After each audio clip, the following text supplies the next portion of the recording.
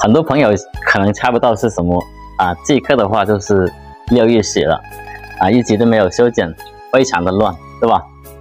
其实六月血啊，看起来的话，它这个枝条啊，如果不剪它的话是很乱的啊，就像一个杂草一样，对吧？所以上的话，今天啊，我们也要给它剪一剪啊，修理一下。现在秋天这个季节的话，也是非常适合给它修剪。然后的话，我们给它修剪一下，这个是六月血啊，啊，本来这里是一个飘枝出来了，做一个幅度啊，然后这些的话就长出来了，毛毛躁躁的。你看现在的话，同样也是开花的啊，开花我也剪出来了，开花朵是这样子的啊，看到吧？啊，小小的一个花朵啊，这样子啊，粉红色的。如果说你不修剪它的话，这种六月雪啊，就像一个杂草一样，看起来就不太美观了。所以说啊，我们要找这个适合的时间给它修剪一下。同样啊，顶端的话，我们也给它去掉一些。啊，六月喜的这个枝条啊，可以拿去扦插啊。像这种枝条的话，都可以扦插。六月喜的生长能力还是还可以的啊，生长能力还是很好。啊，底下的一些侧芽、侧枝啊，都给它修剪。啊，我们不需要那么多的啊，只是。留了三个，这个的话，我们同样也是做一个漂啊，这个作为顶啊，然后的话，我们把它用用铝线给它压过来，嗯，这样子啊，修剪过后再给它压，这个不用太多的枝条啊，给它减少，剪了以后啊，就是这样子的啊，这个顶端的话，我们同样也是一样啊，现在剪的就是这样子的，看起来的话就比较明确了啊，这个是作为一个漂的啊，一直都是漂，以后的话。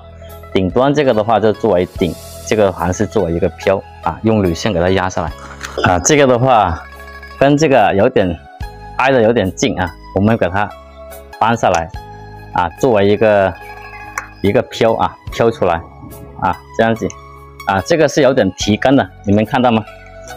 啊，这个根是在露出来的，这种的话是有点提根性的啊。同样我们给它上一根铝线给它搬过去。六月喜啊，它是一个喜欢阳光的啊。很多朋友的话就养的时候啊，一直没看到开花，一直疯长一直就是没有阳光啊。没有阳光的话，就是很难看到它开花。放在有阳光的地方去养护啊。啊，我们靠近这边，这边的话也是往这边来啊。这样子的话就是一个塔形的一个极限啊，步步高升。可以看一下啊，像像这些塔上来。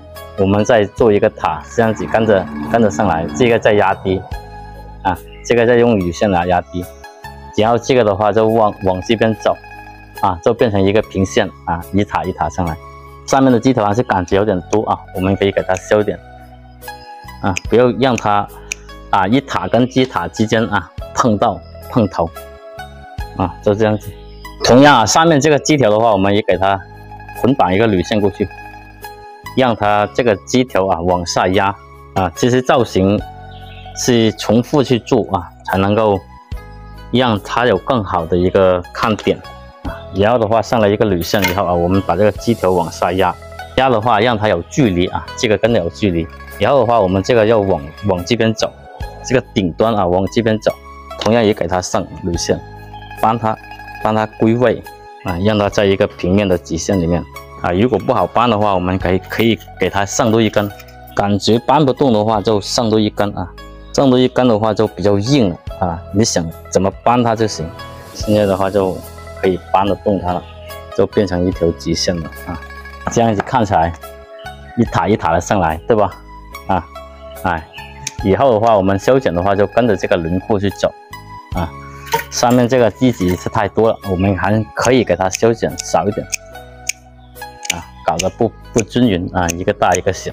这个六月雪啊，剪了以后它也同样很容易爆爆叶子、爆芽出来啊，所以说不用担心它啊，就这样子翻成一个一条直线的，可以看一下啊。像这样子的话，分成高低啊，你看一下有没有喜欢的啊？像这样的六月雪的话，我有很多的还没有做造型啊，现在的话正在忙碌中啊，也是在做造型中。看一下，如果说你们有更好的。意见的话啊，可以在评论区打出来啊，一起来聊一聊啊，还有其他的一些更好的做盆景的一些更好的，对吧？啊，可以打出来一起来聊一下。都这样子的啊，基本上这个形状就是这样子啊，步步高升啊，一个塔形上来，是吧？一颗一颗的话，它是一个高提根的啊，可以看一下啊，这根是露出来的，对吧？啊。